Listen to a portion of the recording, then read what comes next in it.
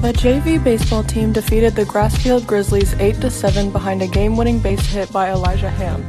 The entire team contributed for the victory, and Joey Strauss pitched a great game for the Braves, striking out nine batters. The JV baseball team now boasts a record of 3 and 1, and we congratulate coach Larry Bowles on their success.